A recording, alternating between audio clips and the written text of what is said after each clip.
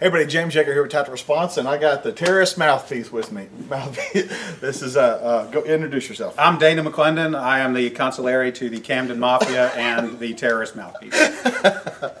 But uh, what are we going to talk about? What are you going to talk about today? Today's lesson is, it's a little off the beaten path of tactical response, but it's still something that you can use every day. This is the hot, crazy matrix. It's what you need to know about how to deal with women and, and, and how to analyze the situation that you may be in or want to be in. Okay, uh, let's take a look at that right now.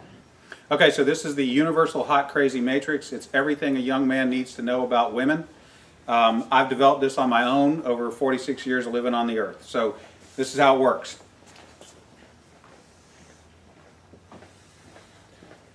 You have your crazy axis and your hot axis. Hot is, as usual, measured from 0 to 10. We're all familiar with that. Crazy is measured from 4 to 10 because, of course, there's no such thing as a woman who's not at least a 4 crazy. So you got 4 to 10. This is your hot crazy line right here. Very important that you keep in mind where the hot crazy line is. As a rule, this is your no-go zone. We do not hang around and date and marry women who are not, at least in our mind, a five. Um, so this is your no-go zone. You don't go here. We just rule this out. Life is better this way. That's the way it is. All right. Um, above a five and to about an eight, and below the crazy line, this is your fun zone. You can hang out here and, and, and uh, meet these girls and spend time with them. That's your fun zone, but keep in mind when you're in the fun zone, you want to move out of the fun zone to a more permanent location. Okay?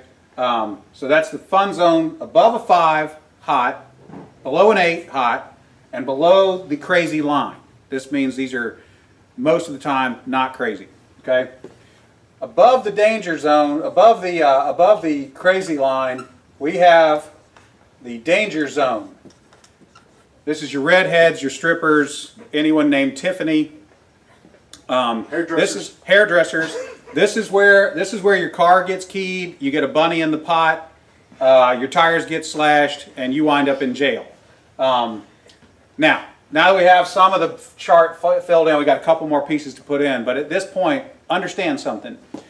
This is not a static environment. This is a situation where you have got to uh, use this matrix over time to develop some reliable data. It's like a dope chart, okay?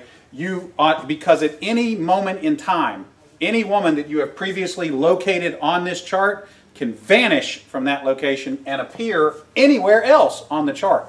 So what you have to do is over time collect some data and once you have a cluster of data points, you can begin to consider that reliable.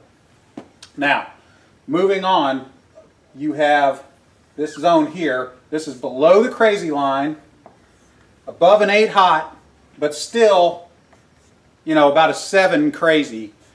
This is your date zone.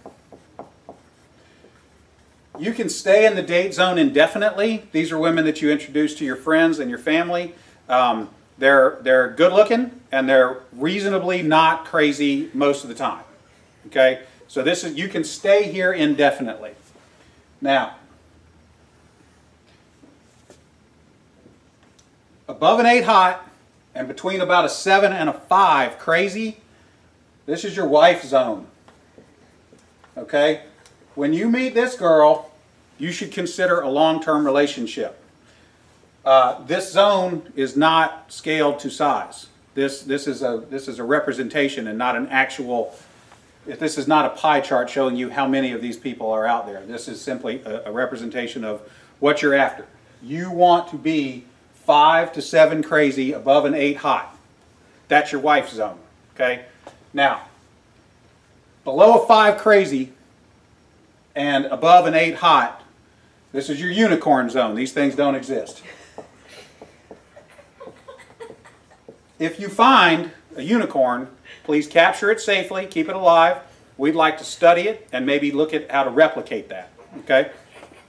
So I was explaining this to a guy one time, and he said, "Wait a minute." I met this girl, and she's like smoking hot. She's like at least a nine, and she's chill. She's totally cool. She's like not even a three crazy. I said, You're telling me you've met a girl, she's a nine hot, and she's like a two or a three crazy. He said, Yeah, man, I like her a lot.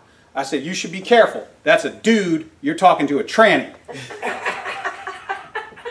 so you got your you gotta be careful, because down here below a four crazy and above an eight hot, you're probably talking to a dude.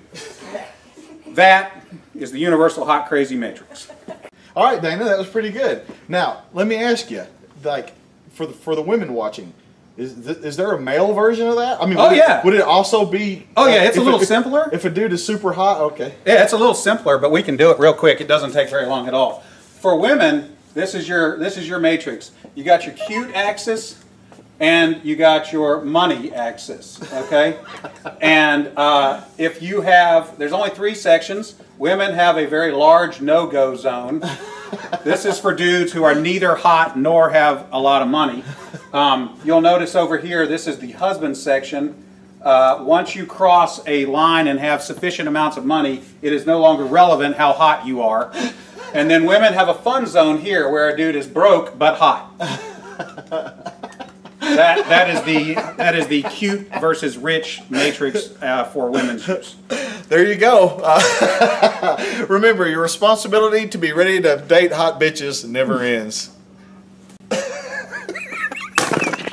Here endeth the lesson.